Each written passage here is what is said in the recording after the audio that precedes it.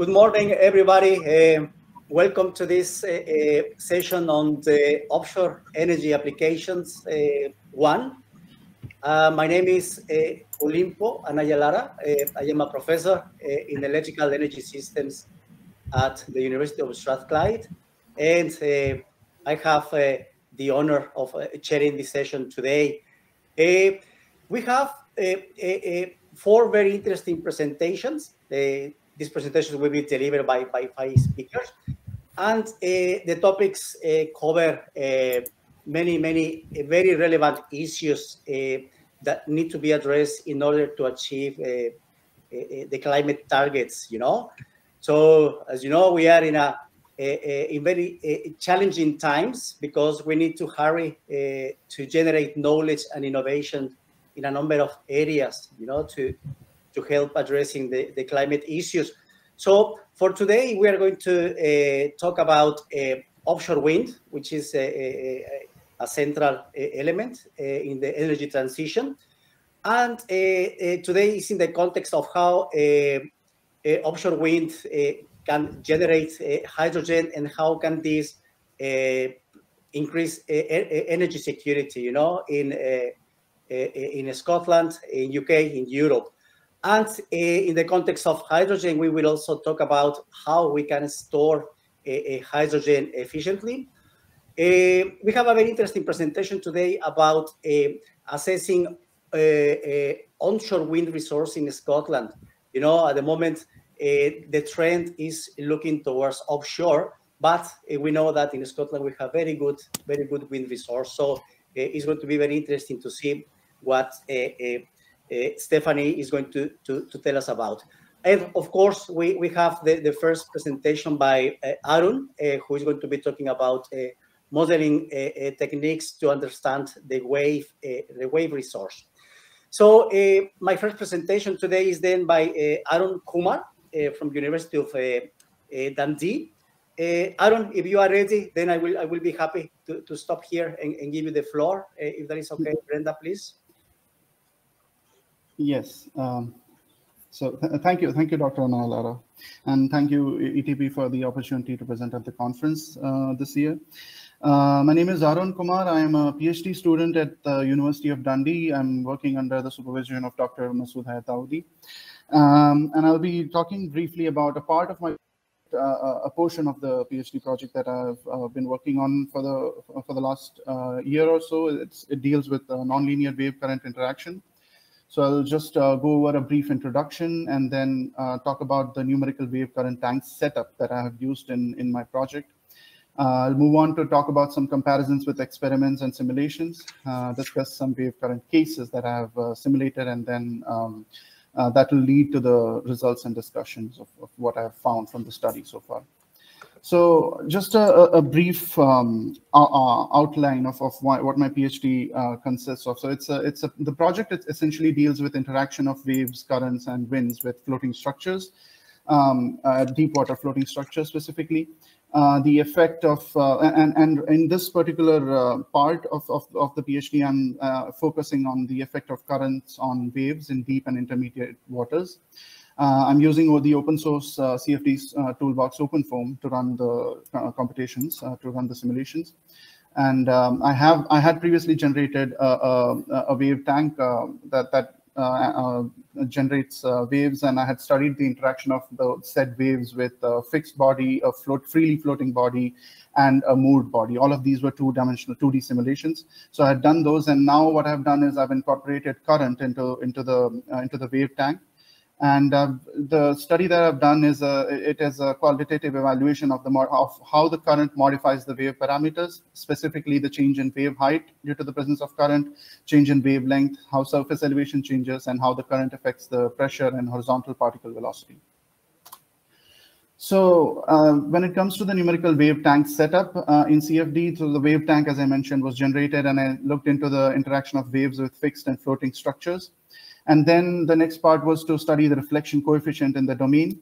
So uh, as the uh, so the, there is uh, the, on the at the bottom we see the essentially the numerical wave domain. So on the uh, left is the inlet relaxation zone. The wave is generated in this uh, zone, And at the right is the outlet relaxation zone. The wave gets absorbed uh, at the outlet relaxation zone. However, um, uh, there, there could be uh, reflections in the domain uh, due to uh, uh, numerical instabilities or, or due to improper relaxation. So it was essential to study how well the relaxation works. So I, I had done the relaxation study by you know, using a two ga wave gauge method. I put two wave gauges and I looked at the relaxation um, the, uh, or I, I, looked at the reflection, I'm sorry. Uh, I looked at the reflection from the uh, outlet relaxation zone.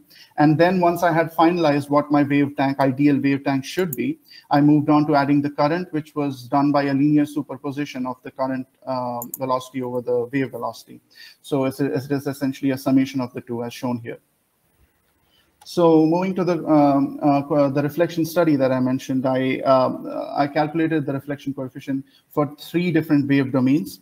So if I quickly hop back to the previous slides, outlet relaxation zone, the length of this zone is something that I was um, uh, I had to decide what should be an ideal length.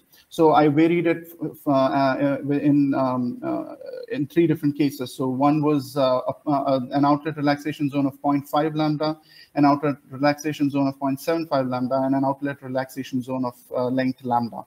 And as you can see, the, the one with 0.75 lambda has the lowest reflection, and uh, this led me to believe that this uh, this would be the most um, ideal uh, size of, of the outlet relaxation zone which leads me to the the the the finalized uh, um, wave relaxation zone. So this is a schematic of the numerical wave uh, tank with all the, with the location of all the sensors. So I have three wave gauges in the domain, and I have uh, velocity and pressure sensors at three three different water depths.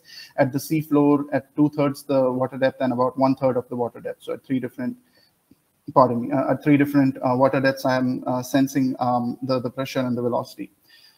Uh, the, as I mentioned, the wave is generated on, in the inlet relaxation zone and it is absorbed in the outlet relaxation zone. And when it comes to uh, introducing the current, uh, how or how, how the numerical uh, system works is that whatever current I add on the inlet, I, I need to take that out so that the flux um, is, is constant. So there is no loss or uh, gain of fluid from the domain. So that's how I, so the whatever changes I make to the wave velocity by linear superposition on the inlet, I have to take that out on the outlet.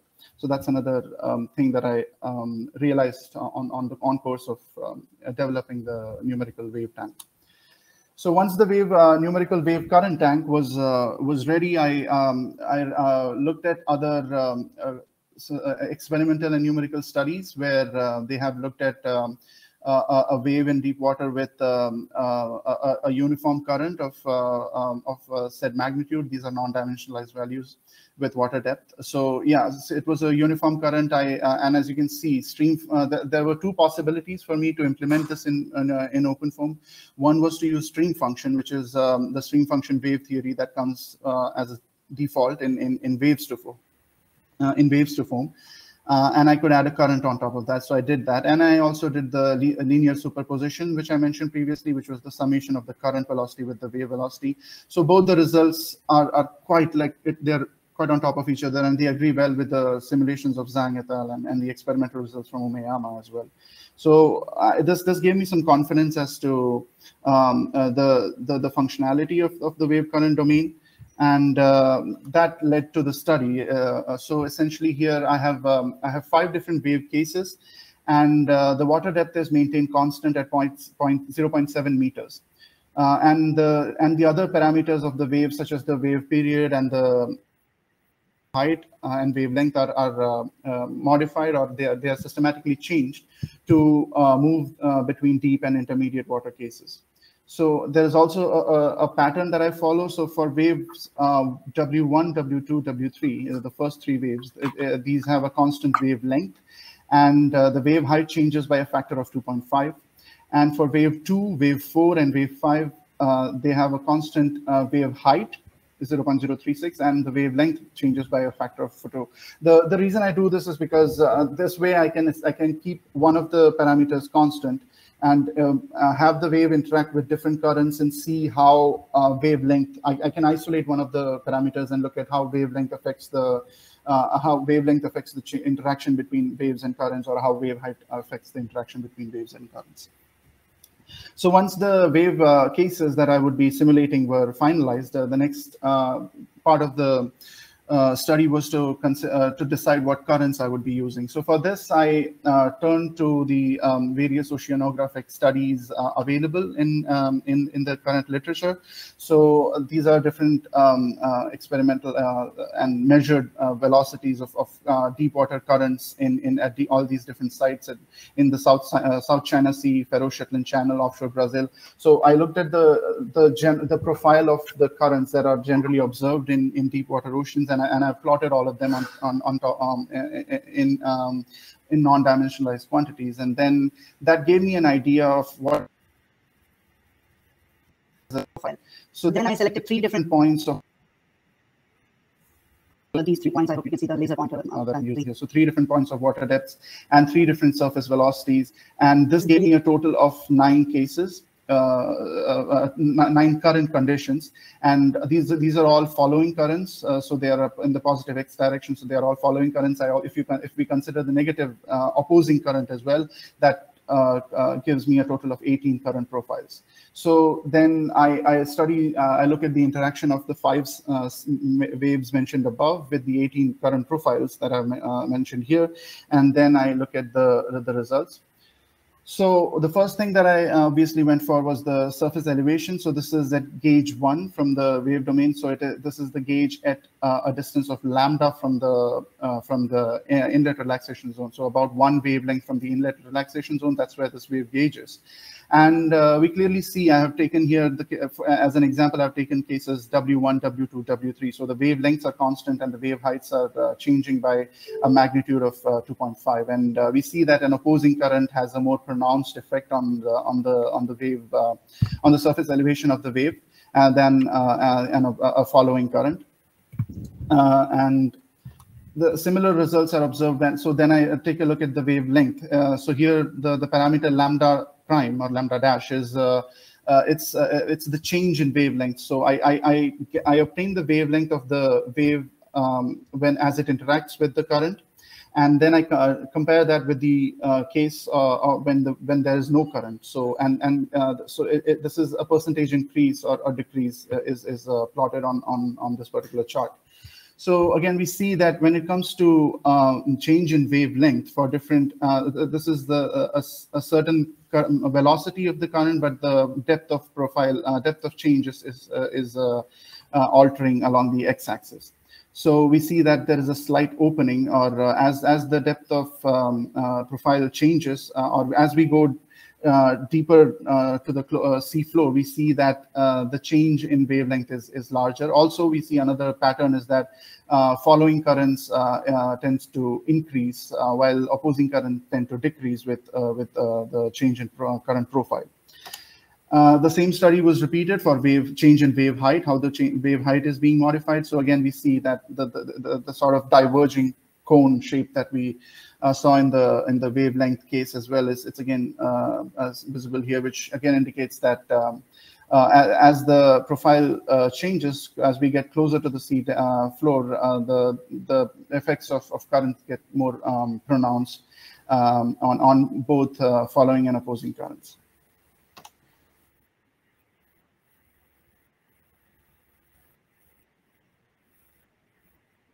This is uh, taken at um, a water depth of uh, 0.33. So one third of the um, entire water depth, one third from the free surface, that is.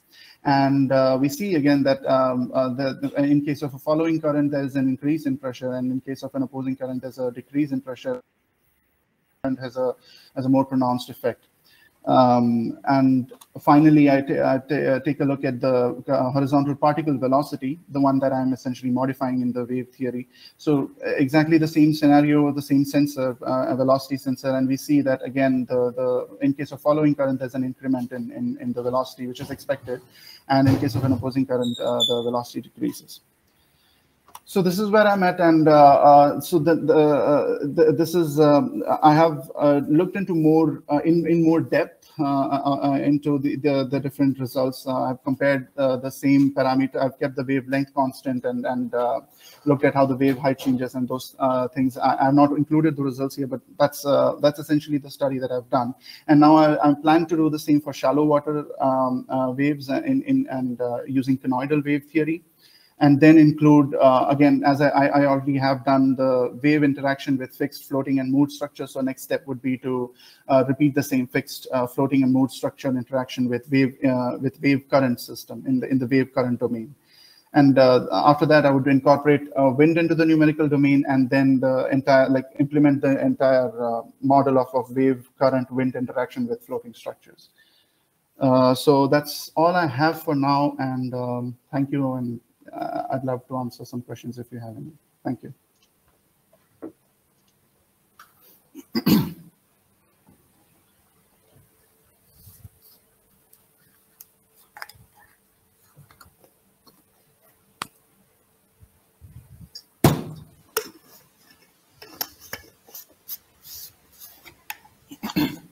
from from the audience, I see uh, I see some names here with us. So uh, any questions from the from the audience? I believe uh, they can uh, uh, unmute themselves, right, Brenda, and ask the questions, so they can use the discussion forum.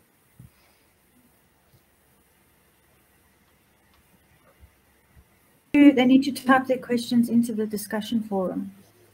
Okay, um, okay, right. So I, I see no questions at the moment uh, in the discussion forum. But uh, uh, I will give a bit of time uh, if, if, anybody wants to ask. But I, I will start with a very simple question, Arun. perhaps you discussed this in your presentation, yes. but I, I, I, missed it maybe you know that we, we obviously a, lot of a lot of developments uh, in offshore wind are uh, towards obviously floating uh, in very deep waters. what what are the sort of depths that your techniques will will handle with without any issues? So um, if we go to, um, sorry, let me quickly jump to that slide. So this particular um, uh, scenario where I've considered the different water depths. So all of these are, um, um, um so Sheikh et al, uh, this, this is uh, more than 500 meters. Uh, the Faroe is almost a kilometer. Offshore Brazil, this study is uh, more than a kilometer, 1.7 kilometers. So all of these are like uh, really, the, the, the the shallowest one I have considered, the current uh, profile I've considered here is, I think, uh, 560 or something. So it is, I think, uh, wow. fairly okay. in, the, in, in, deep water. Right, right. So no, no, no, no, no issues then when we look at the uh, floating structure for wind, because obviously we will not go in those sort of uh, depths. No, yeah, that's yeah. that's very nice. Uh, in terms of computational effort, Arun, mm -hmm. you give us an idea more or less of what sort of resources you need uh, uh, yeah. to, to, to, to compute so, your, your algorithm? Yeah, so, so right now, the wave current cases. I take one of the currents and I take one of the wave cases on an average, these uh, these are two two dimensional simulations. So these are 2D simulations. That's something that really factors in uh, uh, strongly. But uh, yeah, I'm, I'm looking at uh, maybe uh, eight or nine hours of simulations on 64 processors. That we have a supercomputer here, a cluster on the at the university. So on that cluster, it takes about eight or nine hours. Um, I have run some.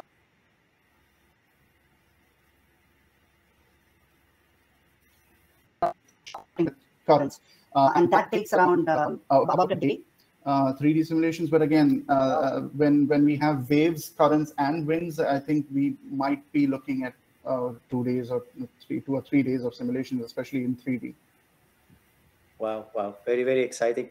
No, that's nice. That's nice. My, my final my final question is: uh, uh, Are you working with a particular industry partner, uh, Arun, in your project?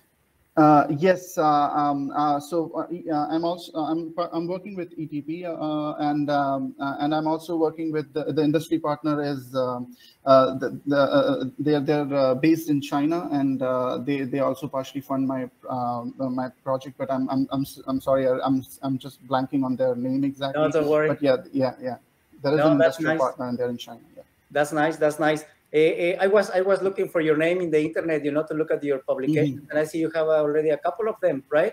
Oh, I I'm not. Uh, I think that may be a mistake because I'm in the process of. So this one, this study right now is something that I'm working on on, on writing. Uh, I'm uh, in the process of writing it up, and uh, this would be uh, my first publication. Oh, okay. So yeah. maybe uh, one of your. was yeah, yeah. Yeah, but, but it was, very interesting because it was Arun Kumar and it was working on modeling of wave and currents. You know, interesting interesting. Oh, anyway, okay. So uh, I think that I, I, see no questions in the discussion forum now. I think that uh, mm-hmm. uh, we will carry on with the next presentation. But first, Arun, thank you so much for for for very nice presentation, and uh, please stay with us. Okay, don't yeah. don't go. We, we need you yeah. to be here. You know, to to, to engage in, in the discussions. Right. Brenda, I think that we can go uh, to our next uh, presentation with uh, Graham and Emily. Okay, right. thank you very much. Thank you yes, I think that we, I see you now, Graham and Emily, very nice, very nice. Uh, uh, my colleagues from, from Strathclyde University. Good, good. Uh, Graham, I, I will I, I, will let you to do a very brief introduction of yourself and Emily, you know, and then uh, you will have around uh, 20, 22 minutes, Graham, in total, you know, for your presentation. Uh, so give us as, as much detail as possible, you know, for the benefit of myself and the audience. Yeah. Nice. Okay, okay, I will do. Thank you very much, Olimpo. Um, so I'm Graham Hawker. I'm recently appointed lecturer in energy systems at, at Strathclyde. And um, Emily is a new PhD student. So this is a new project that's being part funded by ETP in collaboration with the Offshore Renewable Energy Catapult. And given that Emily literally started on this about three weeks ago, I thought it'd be quite unfair to ask her to present findings because it might be a very short presentation at this point. So instead, what I thought would be most useful is to give some background to this project. So essentially, I'll talk a little bit about the, the, direction of Scottish energy security, why this is a kind of current and growing issue, and then why, in particular, offshore wind-derived hydrogen could be um, a future solution to this. And then I'll hand over to Emily, who'll uh, then talk a little bit about what she's uh, planning to do over the next three years to answer all the complicated and difficult questions I'm about to raise. Um, I'll, I'll, mention as well that um, we've also got the University of Edinburgh involved in this. So Katriona Edlmann um, is giving us some advice on hydrogen storage issues. Uh, so I'll be interested to hear from the next presenter as well um, around the outputs from their, their project. So there's a little bit of background. Um, we know there's big ambitions in offshore wind. So at a, a national level um, across Britain, we have the policy announcement of 40 gigawatts by 2030. And the Scottish government has um, last year stated that they're looking for around 11 gigawatts of offshore wind energy in Scottish waters, um, which is a big expansion. So it's a doubling essentially of what we already have. Um, but recently as well, we also have um, a policy announcement that follows the um, cooperation agreement between the SNP and the Greens, which is looking at a much more aggressive expansion of onshore wind as well. So looking for an additional 8 to 12 gigawatts of onshore wind capacity. So also doubling onshore wind over the same period. And there are plenty of things flying around around how we reinforce the networks across Scotland to actually make sure this energy can get somewhere and be usefully used. But even the kind of most ambitious network options that are being looked at out to 2030 are going to be some way behind the rate at which onshore and offshore wind will be developing. So we can expect there to be insufficient network capacity to host all this wind energy. The already large curtailment volumes that I'll talk about in a second are going to likely significantly increase.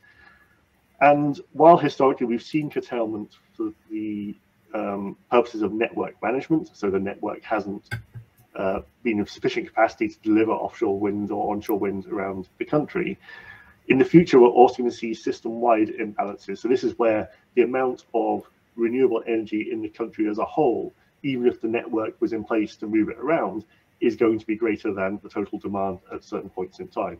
So this will lead to entirely new states of the system, and I'll say a little bit about this as well.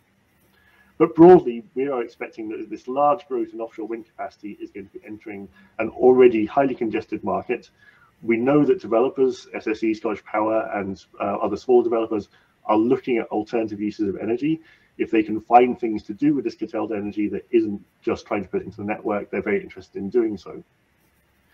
But at the same time, we also have to look at what else is happening on the system. So there's a policy announcement that unabated gas generation has to be gone from the system by 2035. So the um, large power station at Peterhead that runs on gas at the moment, uh, which is key to Scottish energy security um, and balancing in the face of all this wind power, has to move away from unabated burning of natural gas. So it has to end up with either CCS or burning hydrogen as an alternative fuel.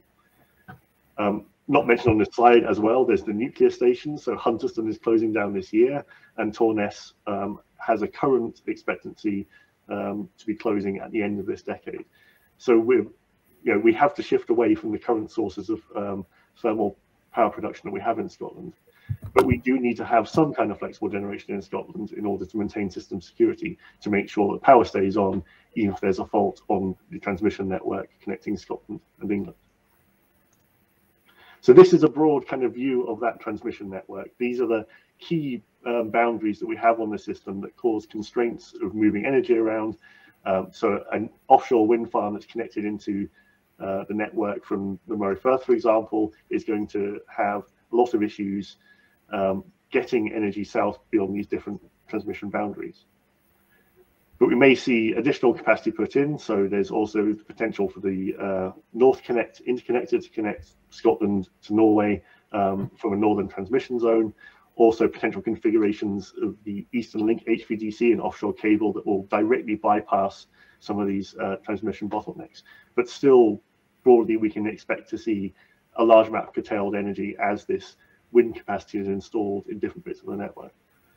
And I guess as well as um, traditional offshore wind off the east coast of Scotland, we can expect to see the beginnings of floating wind off the west coast that is also going to be trying to connect into very congested areas of the network. And National Grid's own analysis backs this up. So they're showing um, how constraint costs, they don't put numbers directly on this, they're just highlighting in colors, but showing that these boundaries are going to lead to uh, greater costs than we see today on, on constraints, particularly the B6 boundary between Scotland and England uh, is going to lead to essentially large scale curtailment of energy in Scotland, even under quite aggressive network expansion scenarios. So when we say we're going to see more curtailment, well, what kind of numbers are we talking about? And this is a view of what curtailment in Scotland look like. So added up all the curtailment of Scottish wind farms onshore and offshore to date. And you can see at the top that we're talking, you know, hundreds of gigawatt hours a month of energy is basically uh, unused from wind power in Scotland already. Um, there was a big, um, there was a big uh, surge in curtailed energy in 2020 due to reduced reduced demand during the pandemic. So that's led to a bit of a blip in the data, but we can still see that the average is um, still extremely significant. And the money associated with this, of course, is also very high as well. So last month, um, for example, uh, November, there was a large amount of curtailment going on in, because of all these high winds and storm conditions that were happening, and something like uh, 32 million pounds uh, was spent by the uh, system operator curtailing wind farms in Scotland. So these are already big numbers, and these numbers are only likely to get bigger. Now, I said there a little bit about um, the increased curtailment that we saw in 2020, and this actually gives us a really useful case study for looking at what things are going to be like in the future. That reduced demand we saw in 2020 from people working from home during lockdown, greatly decreased business demand, and so forth, gives us a kind of insight into actually what things will look like um, in 10 years' time when the balance between renewable output and demand shifts um, shifts quite significantly. So this top left plot here shows week by week in um, the early part of 2020, as we moved into lockdown, what the demand for energy on the uh, transmission system was.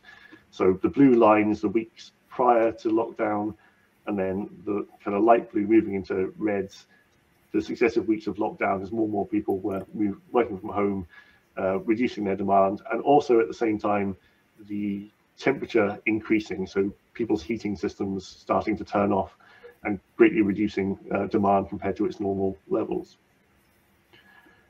And at the same time, we have a, quite a large amount of embedded wind. So there's about six gigawatts of embedded wind across the country.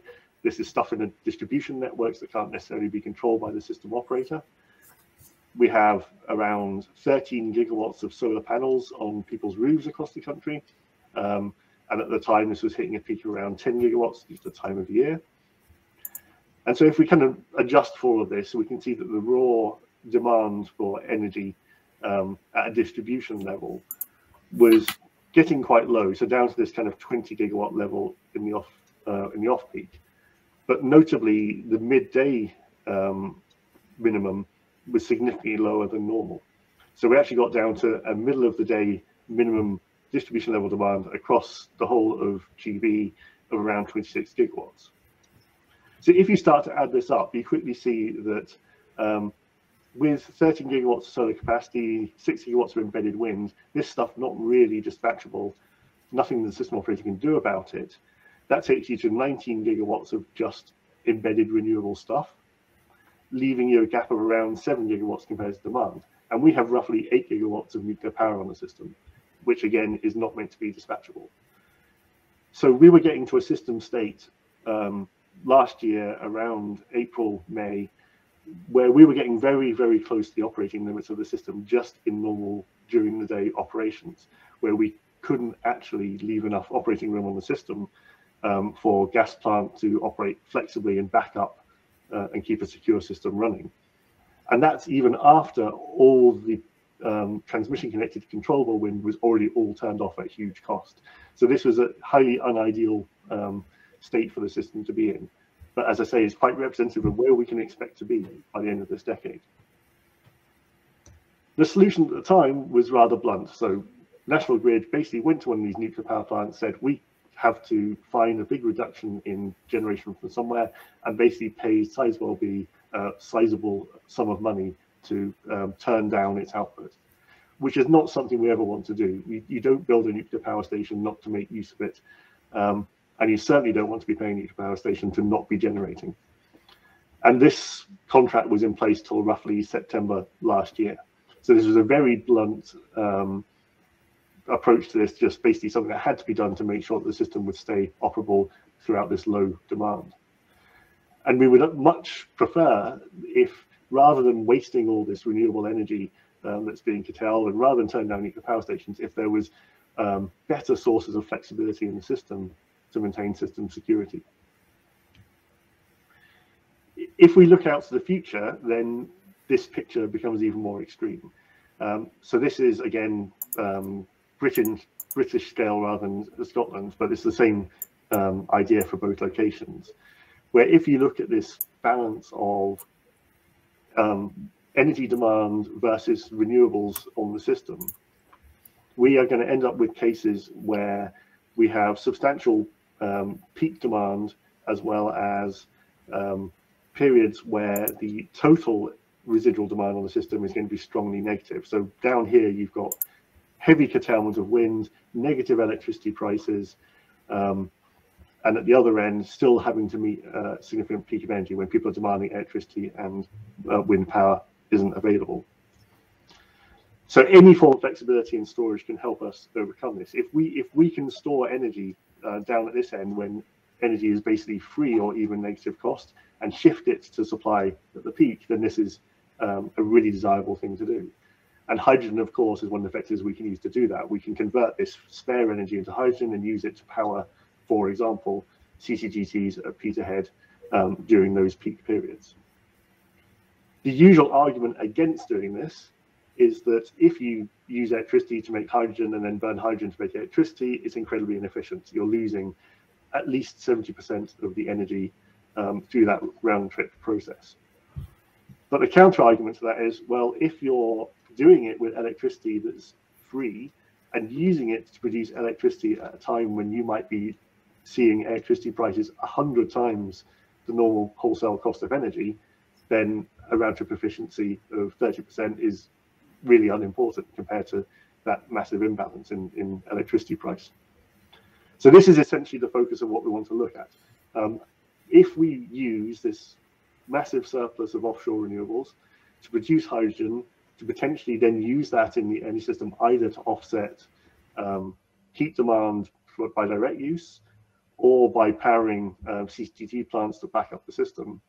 Is this a better way of operating the system than what we have today? And does it maintain the level of security that we're used to in Scotland due to having things like Peterhead and nuclear plants available that we can't rely on in the future? And I've always liked this diagram, not mine. Um, ex-colleague Simon Gill produced this a few years back that also gives a bit of a um, helpful bit of context to this. So this is where energy is stored in the UK. So this is about five years ago, so it's changed a fair bit since then. But if you just look at where we have energy stored in different forms, these fossil-based stocks are enormous stores of energy that we rely on for our system security. We rely on the fact um, petrol stations have huge stores of petrol, uh, re refineries and so forth. We rely on the fact that we have large natural gas storage. Um, and previously we have relied on big coal stocks, so not to the same extent anymore. If we look at the electricity system, we're talking about tiny bits of storage in comparison to that. So if we're decarbonizing, we're losing this huge chunk of natural gas storage that our electricity system relies on and basically replacing it with these tiny chunks. So if we are to do this, there is a big question about where we get this similar level of flexibility, ability to ride through um, adverse events from. So as, as my kind of final slide of this, um, these are all the kind of high level concepts. This is why we want to do, to do this, why we want to look at these futures. But we want to put numbers on this. We want to try and quantify the actual benefits that come out of this. So we want to look at aspects of the power system, such as specific reliability and resilience. So having this throughput of offshore renewable energy into hydrogen, how does it actually help us in terms of um, metrics on system reliability and resilience? What advantages would it give Scotland to have, for example, um, a big North Sea bulk storage of hydrogen that's there available um, to power up, for example, Peterhead during periods when, when we need it. So I'll, I'll stop talking now. I've probably given more than enough background and I'll pass over to Emily who, who can say a little bit about what she's going to spend the, the, the next three years working on. Thank you. So as Graham said, I only started doing this project last month. Um, so I'm just going to talk a bit about the research questions and then the kind of plan that we've got for the next three years. So one of the main things that Graham has like been talking about there is the importance of looking at future energy demands and flexibility. So our like first question is like under the future electricity system with a component of hydrogen derived uh, electricity generation, what kind of proportion of offshore wind output should be directed to electrolysis to ensure we have system security. Um, and then next, I'll be looking at what kind of trade-offs we can expect in system security um, if we couple the gas and electricity networks, which leads nicely into the next question of what kind of contribution can hydrogen storage make in maintaining system security and reducing costs. Uh, lastly, I'll be looking closer at the more economic side of things um, and looking into whether producing hydrogen from offshore wind will be lowering costs than, say, carbon capture from methane uh, combustion. So those are the questions that I'm going to be looking at. And this slide has the like work plan for my next three years. Um, so my first year, mostly just literature review um, on security metrics, hydrogen system constraints, storage locations. Um, we're hoping that we can get access to the Scottish Times out, um, outputs so that I can do some time series data. Uh, uh, sorry, I can do some um, looking at data sets and looking at coupled energy system scenarios, um, which will lead nicely onto my second year where I'm going to be developing um, a gas and electricity system model. Uh, final year, looking more into the economic side of things. Um, so assessment of wind and electrolyzer configurations and looking more into the Scottish Times models again. So uh, to finish off, uh, if you'd like to get in touch, if you have anything further to discuss or you're doing like complementary work to what I might be doing, please go ahead and email me. I'm always eager to learn new things. And I'm sure Graham would be happy to answer any emails as well. Thank you very much. I'll stop there and hand back over to Olimpo. Okay, many thanks, many thanks, Graham, Emily, for a very, very informative uh, presentation about the, uh, your PhD project, uh, Emily. And, uh, and yeah, certainly, I mean, obviously, this this topic is uh, high in the agenda, you know, and it's uh, a very hot topic. I'm pretty sure that you heard so many, many, many, many discussions in the COP26, you know, about about this aspect. I, I, don't see questions in the discussion forum right now.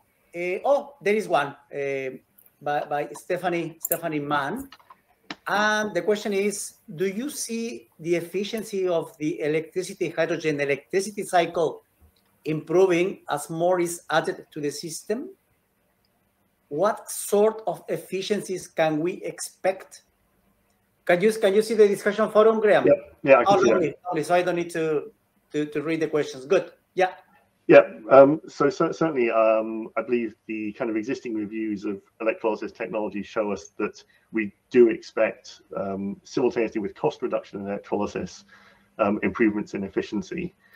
Um, but frankly, we're still talking relatively small numbers. You know, the, the round trip efficiency might get up to something like 40%, whereas I believe currently it's looked at being high 20s to possibly 30 but you know it's still never going to get to the point where the round trip conversion is going to be um, a, a non-wasteful use of electricity, as it were. So th this is very much the you know, the argument I'm making stays core here. If we can use electricity directly, we should do so. You know, if we're looking at a heat system, um, for example, if we can put electricity into heat pumps, that is always going to be energetically better been converting it to hydrogen and burning that because that's like a 70% efficiency. But we know that trying to do that with every unit of electricity in the system ends up being incredibly costly for its own reasons because of all the massive overbuilding of network that is required. So there is a balance somewhere to be struck between direct use of electricity and conversion via hydrogen. It also gives us all these other additional benefits that have an economic value as well in terms of security. So that's something that we're essentially trying trying to quantify. Yeah, we have another one by by Paul Kerr there, uh, Graham. Yeah. Okay. Um, so I can versus CCS. So I think yes, we, we we've put this this in. It'd be interesting if we can come up with some economic outputs. Hydrogen and CCS are essentially the two competing technologies. Do you convert a big power station to CCS or do you convert it to hydrogen? Both get you um, towards net zero. There is an argument that the hydrogen is better because it's actual net zero, whereas CCS will only be 90 odd percent efficient in its best case. Um, so we would be so one of the things we do want to kind of dig out of this is um, can we come some kind of evaluation between hydrogen and CCS? And I certainly, yeah, we don't have the answer to that yet, but something we, we hope to try and draw out of this. Nice. Um, Another one by Christopher there. Very, very exciting topic. So, so Paul's mentioning hydrogen combustion and fuel cells uh, uh, uh, as well. Um, so essentially, we are we are looking at the large scale. So we're focusing on hydrogen combustion. We're looking at transmission level electricity system. We're looking at, um, like I say, the um, generation of hydrogen for it to be burnt to um, in large scale power stations to balance the system, um, rather than alternative use of hydrogen, such as in small scale fuel cells and uh, vehicles, etc. Mm -hmm. Yeah. Okay. And Christopher, yeah, so if hydrogen is used as part of a solution to the waste energy abatement, has it a more flexible spark network. So these are all flexibility solutions. Um, we are not certainly not pretending that hydrogen is the only flexibility solution. Um, demand side management, interconnectors, um, other forms of non-carbon intensive electricity generation can all add to this mix. So we're definitely not trying to say that there is only one solution to this. I think the argument I'm trying to make, if anything, is we need every possible flexibility option uh, in the system. And I would say, particularly with our Nordic neighbours, there's a current argument going on, I think, as to whether the Norwegians are particularly happy with the idea of us using their um, using their pump storage and market to to reduce our own flexibility issues, uh, because Norwegian customers will be paying more for their energy as a result of NorthConnect. So I think there's a, a bit of a political issue there. Yeah. Yeah, one more one more question there uh, by uh, Kai. Uh, mm -hmm. Kai, forgive me. Yeah, can you see it? Yeah. Um, so the efficiency of the electricity hydrogen, so that's that's more efficient. So we're talking something like 70% because you're only dealing with the electrolysis part. You're not you're not then burning um, the uh, hydrogen for power generation. So that is potentially a much better use of hydrogen, but it doesn't necessarily contribute to the whole um, system security angle. So it's a little bit out of scope for what for what we're looking at. Um, comparative options in heating are their own its own area of argument, I would say, um, because yes, that's a better use energetically than what we're talking about having a round trip use of hydrogen. But on the other hand, you're competing against heat pumps, which energetically are going to be anything you can do um, with a fuel-based solution.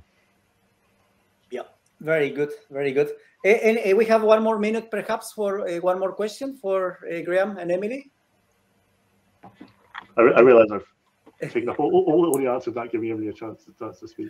No, that's nice. That's nice. Uh, it's a very, very, very exciting uh, topic, of course. Uh, Graham, Emily, so you will be uh, looking at what what is being called green hydrogen production, not the blue hydrogen. That, that's right. That's right. So specifically because we're putting it in the context of offshore wind imbalances. Okay, very nice, very nice. So no, congratulations to both Graham, for, uh, to you for your uh, uh, recent appointment as lecturer, and to Emily for uh, picking up this uh, very exciting project. So I wish you uh, the best. And and yes, I think that we are ready then to move to our next presentation. Brenda, I think our next presenter is Lubica. Lubica, are you with us? Yes, I am. Uh, can you hear me? And can you? Excellent. Yes, yes. There you go. Very nice. Uh, uh, Lubica Slabon, yeah, from uh, uh, University of Edinburgh. So you will continue on the topic of hydrogen now. Uh, how to store hydrogen efficiently. So please, Lubica, again, you have like around 20 minutes, you know, for your presentation in total, with with some time at the end for questions as well. Yeah. Okay, so can you see my first slides at all? Yeah, yeah, we can see them. Yeah. Okay, perfect. So hello to everyone. And I will talk you through a brief assessment of oil and gas fields and their suitability for underground hydrogen storage as a part of site selection criteria process. Hydrogen has been found as an efficient energy carrier and a good alternative to presently used fossil fuels due to its dual usage of delivering energy or storing energy, as Graham has just mentioned a couple of minutes ago for me, really.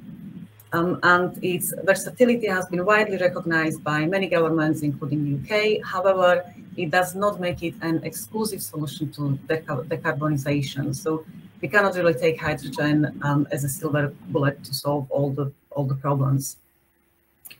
Um, the areas where um, hydrogen can certainly help are um, interseasonal storage balance, uh, bulk transport, so discussed and challenging domestic heating, and it also has an uh, opportunity to become in to become a valuable export commodity. Hydrogen economy will require a substantial amount of hydrogen. The need of that big volume um, is not only triggered by the system needs, but also by the molecule characteristic itself being of very small density. Uh, light molecule on one side by, but high energy density by mass on other. Hydrogen is almost three times energetically denser than gas and almost six times energetically denser than black coal. So where to go and where, where, where what are the storage options? really. So the slide shows discharge time against power, and the surface tanks can hold around kilowatt hours within the time of minutes and hours. This time would refer an average UK gas usage for a single household per year. And we are going to need a lot of more storage that can be held in such tanks to reach net zero. Any power requirement or discharging time above that will rely on some form of geological storage. Uh, with the salt caverns, we can scale up to gigawatt hours, and with storage in porous rocks, we can scale up to terawatt hours. Having that said, in context of giga and terawatt hours, the salt caverns are good and having great sealing properties, being almost impermeable, however, geographically constrained to occurrence of salt lithology. In terms of porous rocks, considered are saline aquifers and depleted oil and gas fields. Recently carried estimations of possible capacities revealed that storage capacities of both saline aquifers and gas fields within the North Sea hugely exceeds the energy storage demand and need. Prior to any storage and injection, the site must be carefully selected and selection criteria well understood those are often linked to effective storage with regard to any hydrogen losses. The concept diagram you can, you can see right now introduces the main processes that can result in hydrogen losses from reservoirs. Um, reading the slide from the left to the right, highlighted in green are microbial processes. Here, the hydrogen is bacterially catalyzed and new gases like methane, acetic acid, or hydrogen sulfate are produced. So basically, hydrogen is being consumed by um, oxidizing bacteria. Geochemical processes that can rework or trap available hydrogen are in yellow. Um, this is mainly about fluid-fluid interaction, gas mixing, and fluid-rock interaction. When inject injecting hydrogen into any geological formation, a presence of a resident fluid needs to be borne in mind. That brings us to multi-phase flow that significantly influences the gas flow through the rocks. And, and those processes are highlighted in, in, in blue. The last part, the pink part of the diagram, presents group of processes referring to physical leakage through the existing or induced faults or fractures the structural integrity of reservoir and seal is absolutely key. And the phenomena like built-up buoyancy pressure and capillary leakage can um, seriously affect or rule uh, sealing capacity. There is a whole bunch uh, or list of influential parameters linked to just introduced processes. Um, but there are few parameters that can be found in each group those mutual parameters are um, pressure, temperature, and salinity. The parameters have impact on the likelihood of processes development and the degree of their progressions. Before going through the individual parameters, let me briefly present the parameters origin. The values were gathered from 207 oil and gas fields and subfields within the UK waters. The studied area was split into six regions, which locations are shown on the map. And the region namely are um, Southern North Sea, Central North Sea, from the Central North Sea, Deep Sea, uh, Deep Central North Sea has been excluded, uh, which we are basically talking about high pressure, high temperature wells. Um, then it's Northern North Sea, Atlantic Margin, and Irish Sea. Well, so let's have a look at parameters. The first parameter to start with is pressure. The higher the pressure we can reach in the reservoir, the more energy we can store and the density of the stored hydrogen is higher. Um, secondly, the pressure of tight rocks, rocks seals rules the entry pressure threshold for hydrogen to break through the, the seal and influences the reservoir integrity. Um, the pressure regime needs to be understood as well for any reservoir engineering operations like injection or recovery. Um, if we look for the reservoir or for the fields um, with higher pressure, then we would go to northern North Sea, if excluding high pressure, high temperature wells. Um, so that would be a northern North Sea where we would be finding reservoir with, with higher pressure. Um, the graph on your right shows the relationship between um, pressure and hydrogen density. Um, and you can see that the relationship is very strong um, and it's almost linear. So basically, if we look where we could store denser hydrogen, it would be the same region as we saw on the previous slide. So again, it would be northern North Sea. Talking about the pressure and geological storage, the depth plays an important role, and this is to illustrate how hydrogen density changes with depth. If we consider hydrogen density at atmospheric pressure and ambient temperature, then within one kilometer depth, it increases 100 times. And that is notable when consider a large volume of hydrogen. Um, and for example, if we took an average size of gas field at the depth of 1,000 meters, accounting for 50% of cushion gas, we should be able to store around 23 terawatt hours, which is almost a third of UK heating requirement. So going underground really means upscaling the hydrogen storage. Second parameter to look at is temperature. Temperature is absolutely key for microbial and geochemical processes and governs diagenesis. Um, if you look at the map, so then we would see, or we can see that the hottest area of the North Sea um, is central North Sea and deep central North Sea. That's where the, the fields with the higher temperature values can be found. Um, this is just to show the difference of influentiality of pressure and temperature on hydrogen density. The trend of uh, temperature to be influential to hydrogen density can be seen, but it's less pronounced compared to pressure. So really um, density um, follows the, the pressure. Similarly to temperature, salinity also impacts uh, the microbial processes and geochemical reactions. Apart from that, salinity indirectly governs sealing efficacy of the reservoir the higher the salinity, the smaller the density difference between the stored gas and brine, and the lower the buoyancy pressure. The fields with the most saline brine are located within southern North Sea and Irish Sea. Our three key parameters were then used to set the threshold criteria in order to assess the dataset for hydrogen storage with aim to maximize effectiveness and minimize losses. The pressure was set to be 15 megapascal to ensure storage efficiency and to be in agreement with the maximum of the national grid. I mean, the maximum the national grid can transfer um, in terms of pressure.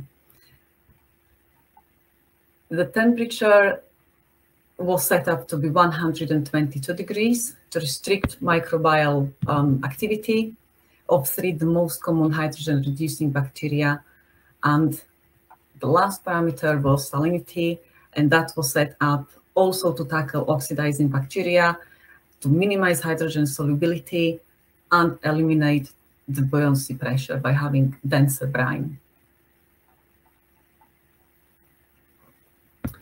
The data set was then assessed by a few criteria combinations based on the individual or combined effect, uh, effect of parameters.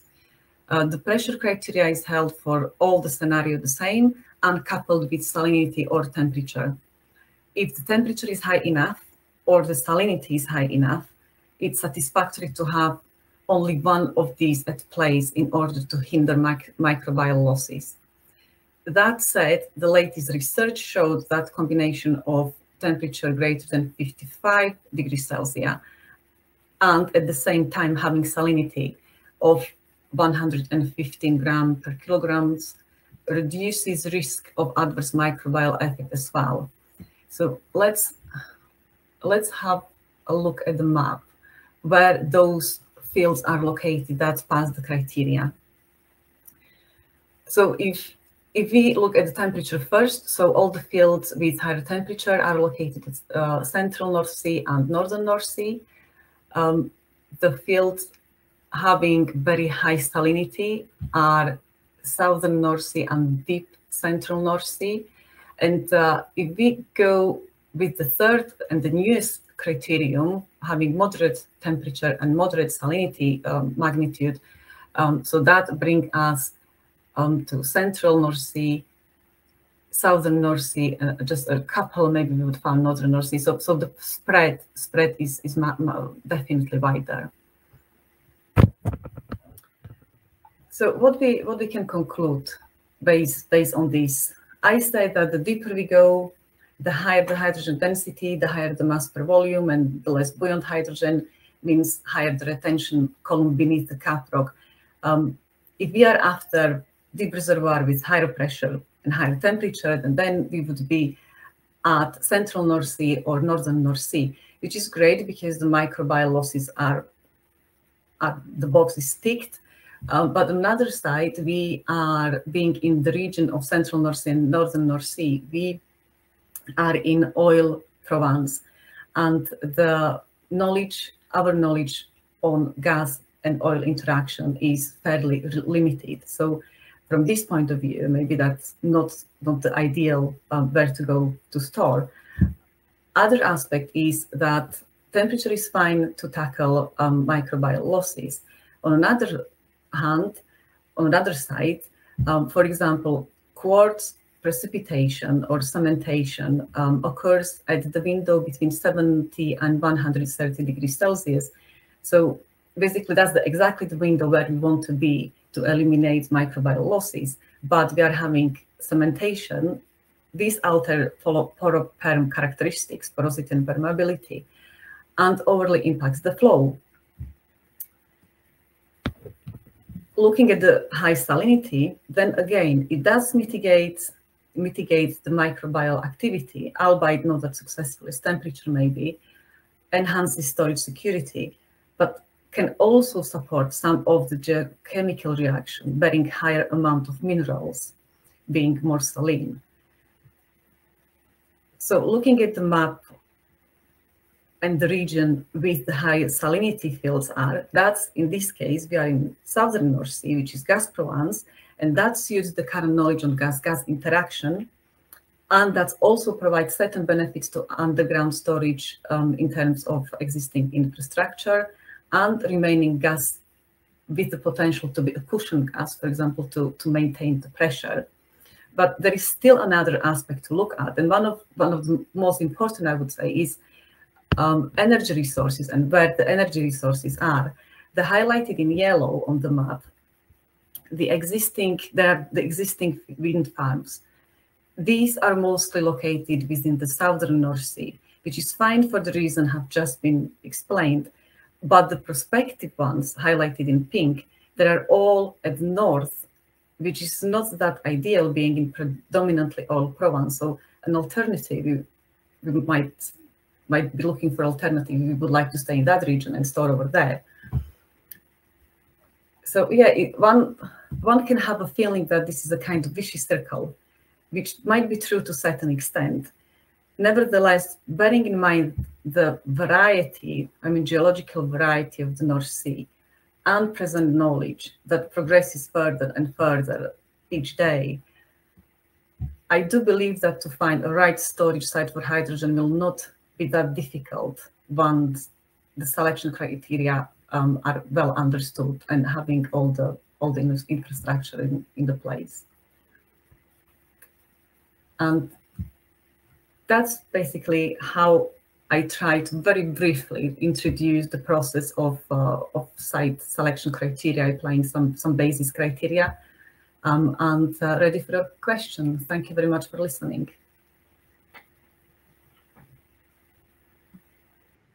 Uh, thank you very much yeah, for an excellent presentation, Lubica. That's that's very. Uh, let me see if I have see if I, if I see some questions in the forum. Uh, I I don't see questions at the moment. Can you see any questions, Lubica, in the discussion forum? No, no right? I don't think so. No. No, that that's okay. That's okay. So I have one one minor uh, question, and this one is perhaps due to my ignorance. Eh? So maybe if it's the wrong question, just forgive me. could you give us a sort of an idea of of, of costs of uh, storing, for example, uh, carbon, you know, or storing any other type of hydrogen? You you you are do, doing that, storing other type of gas, you know. what what sort of costs we, we are talking about? If you can give us a, a, a comparison, you know, maybe not with exact numbers, but to say, well, just to give an idea, Olimpo, this is if you want to store hydrogen, you may have this cost associated compared to uh, uh, storing uh, ammonia or anything else, you know? Thank you, Olimpo. I, I know exactly what you mean, and it's quite um, often question that people are asking, tell me what's the cost and how effective it is, or what's the, what's the price, what's the cost for, uh, let's say, um, one megawatt hours of, of stored uh, hydrogen. And unfortunately, I don't have really answer for this one because what we are missing in the industry is uh, we, we, don't have a project of that, and nobody has ever stored the hydrogen for these purposes that has been just discussed. I can tell you that, yeah, of course, if you compare it to the gas, so that's um, plenty of experience and years of infrastructure, and it's simply the place. Um, so, so it's known and it's there and it's cheaper. Um, I'm not sure how it would be now comparing um, CO2 if we want to store CO2 and, and, hydrogen, but that's exactly that. That's two different story, and yeah. I don't think that we can compare it because one is going to be stored to be there for forever, and another is going to be stored just to be withdrawn again, maybe within Correct. like a few weeks or months. Um, what we can see is that there are a couple or few that just just one in in UK which would be Orkney like a small scale project and they are using their hydrogen but they are how they are storing it there it's in um in, is in cylinders they, they've got a small tank but mostly in cylinders are using as a fuel cell and then what they are doing right now they are building um, a, a big battery so like the shed of the battery next to the yeah. electrolyzer. But again, it's not underground storage, so um, can't really give you any number. no, no, no. That that's perfectly understandable, Lubica. No, that's good. But to hear your comments is always is always very beneficial, you know, for for for the people in the in the in the session. No, that's good. Um, I, I think that uh, Stephanie. Uh, uh, uh is not presenting today, so I think that uh, Lubica, this is going to be your this is going to be the last presentation, Lubica, but don't go yet. No, don't go. Uh, I have one final question, Lubica, and it's in terms of safety, you know, as well. I mean, when you when you do this type of storage systems underground, you know, are there any particular things that we need to look at in terms of safety? The most the, the biggest danger about about hydrogen is when uh, it leaks and when it's confined, when it's in, in, in confined space, yeah. and then can ignite. But apart from that, uh, it can leak, but it can disappear so quickly because it's so light and it's so diffusive. So let's say if we are talking about um, storing in underground and let's say offshore, that's far away from public, if you mean this um, danger, and I would say it's it's it's pretty it's pretty safe. Safe. Um, yeah, the the safe it means it's not like the safe that would be there and cannot leak. It, mm-hmm. it probably can, and there there could be the whole body. It could be cracks. It could be fracture in, in, induced, for example, by cyclicity and pressure changes all the time. You know, after months or weeks when injecting withdrawal. But I mean, in terms of it's difference if it leaks of some portion of hydrogen into the water and it just disappear quickly. Let's say if it leaked um, maybe on offshore in public where the measurements are not uh, at, at, the place and it, it can be in confined area and can just just combust. Okay. Um, so yeah, with with the safety is and another um, mistake what we what we do and I think it is that in terms of safety. We are trying to fit the current measurements we had designed many decades for gas, and we are trying to to just fit it to the hydrogen, but it's just a different medium and mm-hmm. needs different approach. But it doesn't necessarily mean that it's more dangerous. Okay, okay, nice. Than the hydro hydrocarbon we are using at the present. Okay, thanks very much, Lubica. I see you have a couple of questions there uh, uh, in the discussion forum, one from Stephanie, another one from Katriona. If you want to look at those, uh, please, Lubica. What are the long-term storage losses for hydrogen in deep sea or salt caverns? Yeah. Um, I yeah, I don't think um, in terms of salt caverns, um, the losses are minimum because as far as I know, the salt caverns are almost impermeable, so they are very good sealer. If there are some losses, so then the losses could be um, could be through the borehole or um, through the um, operation. Um, I mean, when you are injecting or withdrawal, but uh, but as, as as storing them in the salt caverns itself as as a as a medium as a box we want uh, that should be quite safe. Mm -hmm. And then there is another one. Um, yeah, you, Katriona. Can you comment on the issues that might impact the recovery of hydrogen from porous stores? Yes, the if we are going into the porous porous rocks, so there are a few issues. So the, the first one is how we set um, our reservoir engineering. So how we set the pressure and um, and how we recover um, hydrogen from those and how how sealed the, the boreholes are. So that that could be one problem of, of hydrogen leakage. Another one is uh, potential gas mix, mixing with cushion gas in reservoir. So once we inject um, pure hydrogen into reservoir, but we might not get as pure reservoir, um, as pure hydrogen when we're getting it out of the reservoir. So that could be another aspect maybe. Um, and then the leakage processes I've, I've mentioned on my slide as well. Um, that's yeah, what just popped instantly yep. in my in my mind. No, that's nice. That's nice, Lubica. I think we have other questions there from Go, uh, Gordon and Christopher, but these are uh, general. You know, one from Gordon is for uh, for Arun, and then Christopher has a general in terms of transportation of hydrogen.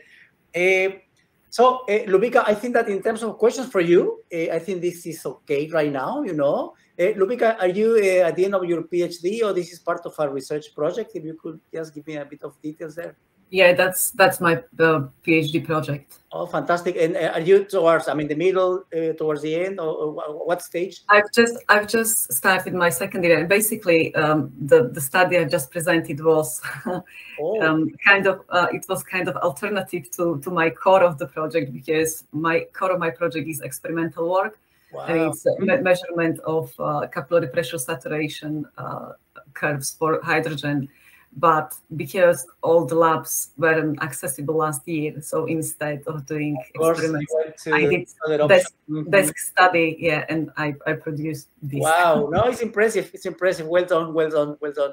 Very good work so far. So uh, keep keep keep up, you know, the the, the good work.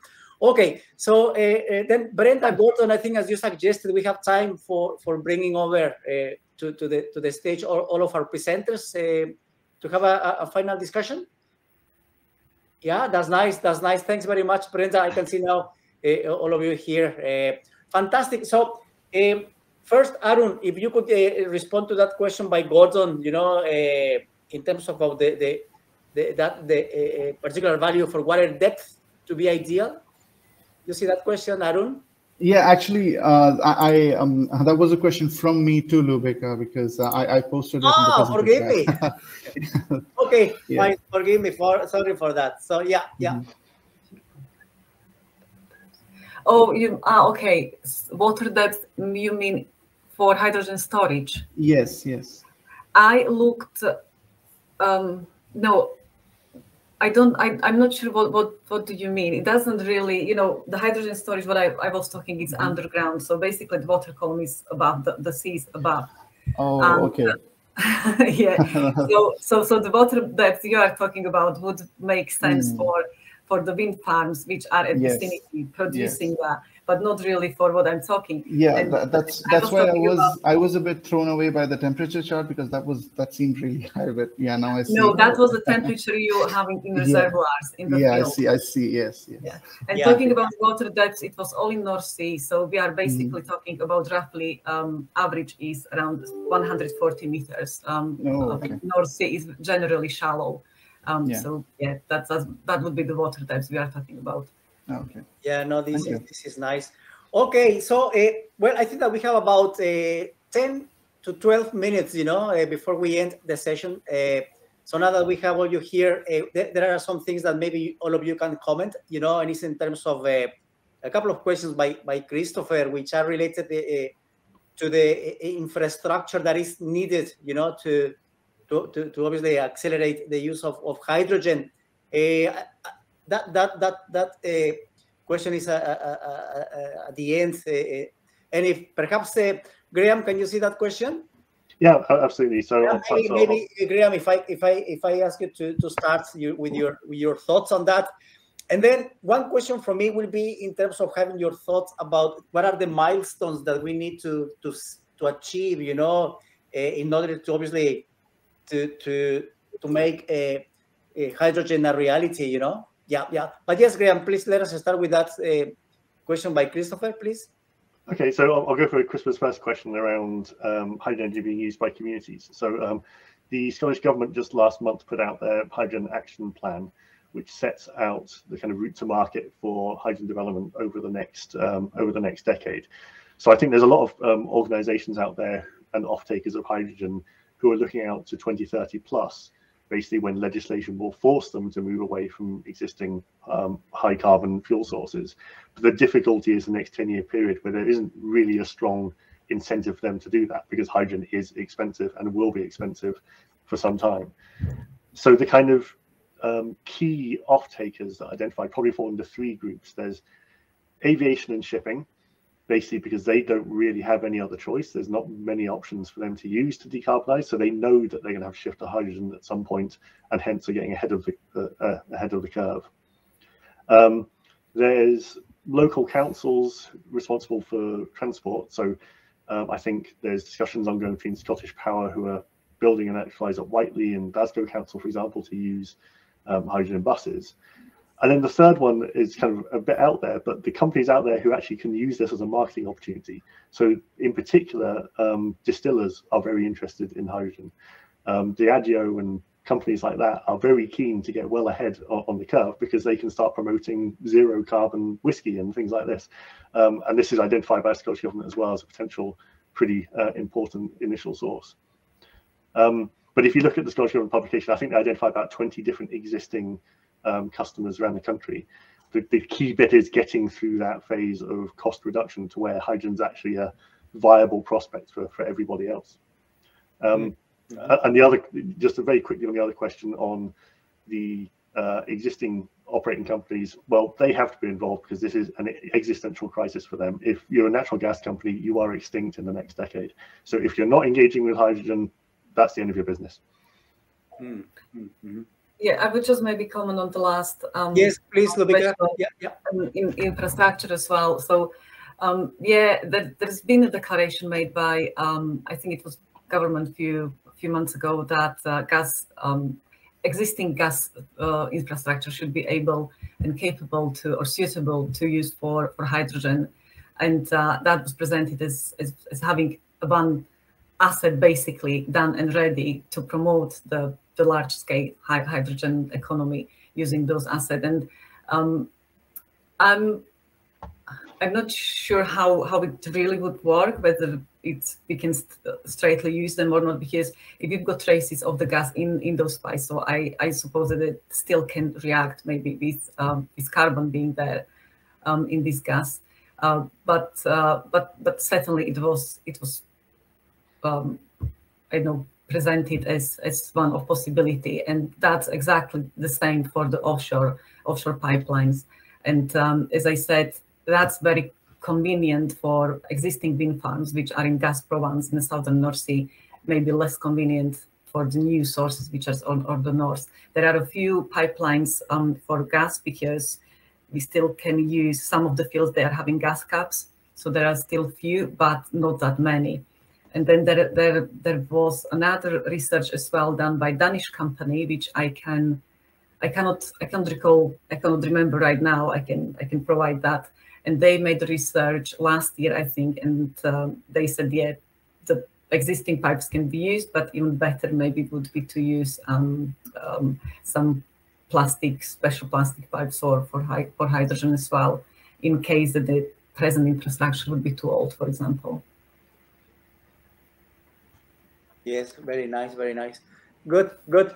So uh, the, the, the, other thing that I was uh, uh, wondering, colleagues, is if, if you could more or less comment on the milestones that you, well, you think will be necessary, you know, to achieve over over time in order to to make hydrogen a reality in, in our energy, well, energy energy systems. Mm -hmm. Any any thoughts on that in general? Uh, as to why, what is it that you you think is this is we need to sort this out first before we move on to the to this other aspect, you know, in order to to facilitate uh, or, or, expedite uh, hydrogen, yeah, exploitation. Mm -hmm. uh, my point of view, is. Yeah, in my point of view, it really is. I don't know about your opinion, Graham, but uh, there is a problem with uh, with infra infrastructure generally. It doesn't matter whether it would have been pipelines to use for hydrogen, talking about hydrogen, or it would be electricity straight away, like cable, and then to connection to national grid.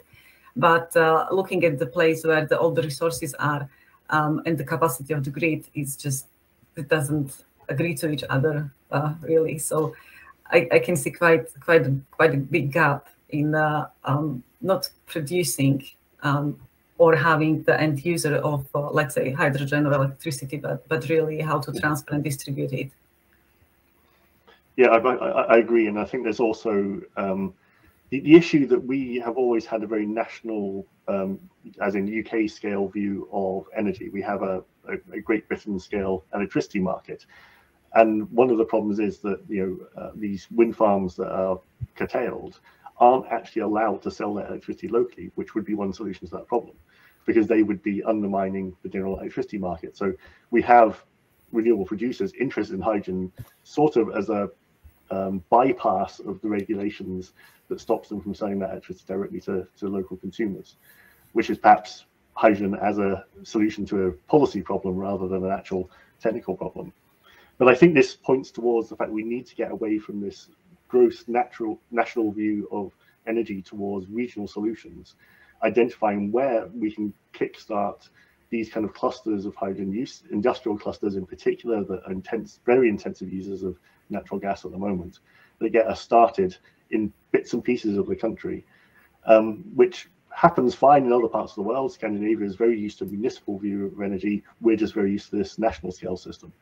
But if we can get that local view, then I think this kickstarts things a bit better. But then we start to have to think about um, the inequalities that introduces into the system.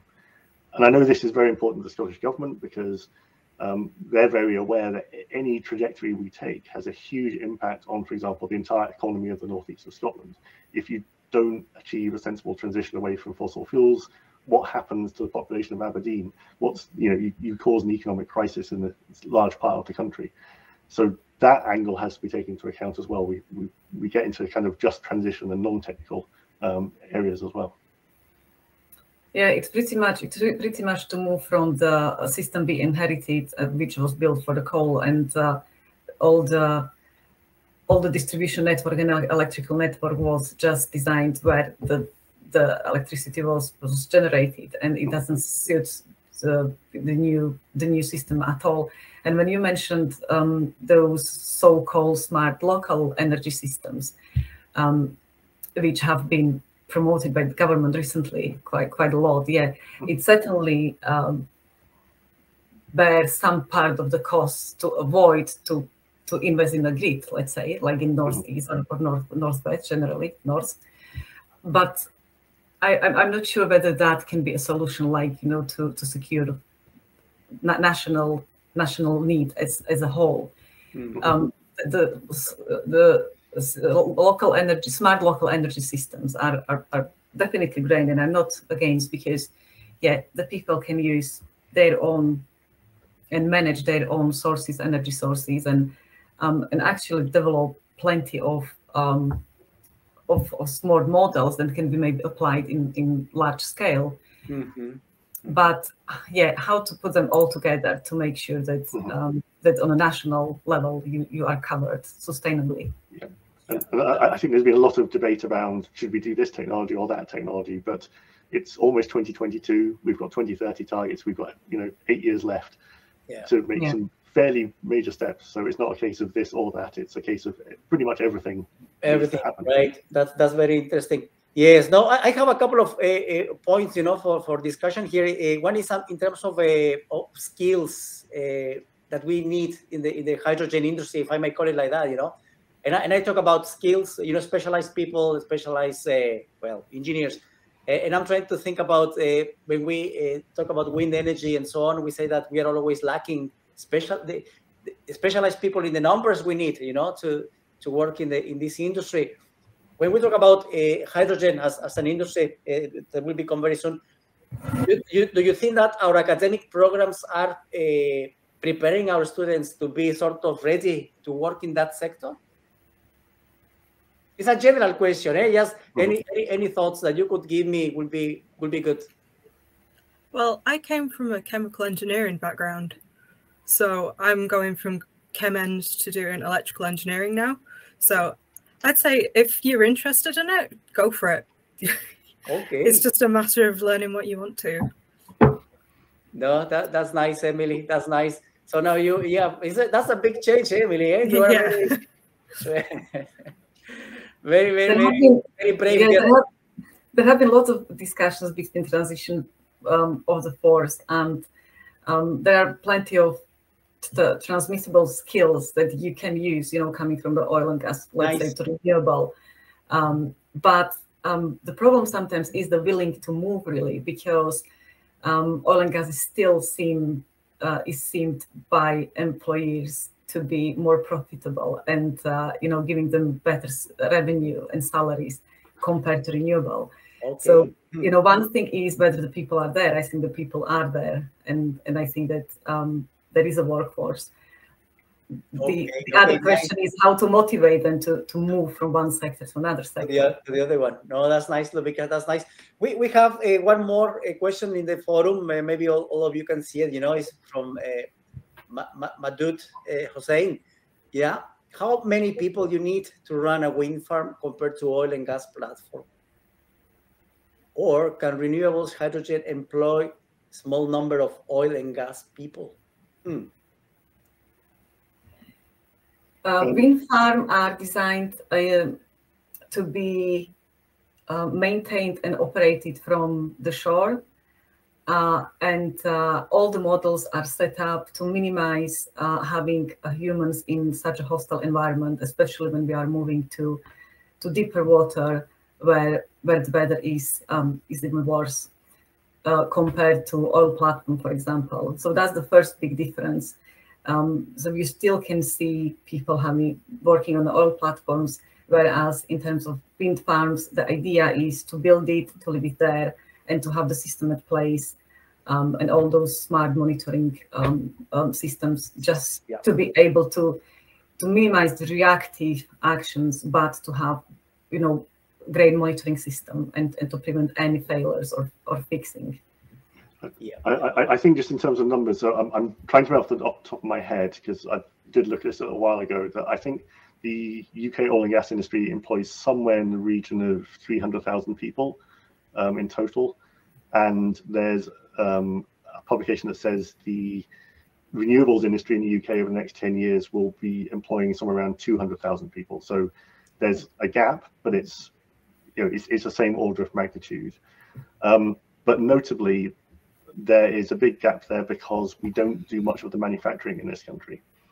Um, we don't build the turbines that we're putting in the North Sea, and that could um, change employment picture substantially if we did a lot more of this domestically. And I know that is um, seen as a government priority both in Westminster and Scotland. So it, we could end up in a case where um, we're not seeing, in terms of numbers, much change in the total number of employed people. Yeah, very nice, very nice. Okay, well, I I, I think we have more more points for discussion, you know, but in, in the interest of time and to be uh, uh, on time, let's say, Brenda, uh, Gordon, are you happy to stop here the session, or we have time for more one more question? No? Okay. So Gordon is telling me that he's happy to stop the session here. I think that Brenda is also happy. So, uh, colleagues, uh, uh, presenters, thank you so much for, for an excellent session. You know, as I said at the start of, of, the of the session, very exciting topics, and and I wish you all the best in your in your research, Emily. All the best, Lubica. Thank you, Arun, and I'm pretty sure that I will see you hopefully next year. You know, with with more exciting results. Okay, so thanks again and see you next time. Thank you very much. Thank you. Goodbye. Bye bye. Bye for now.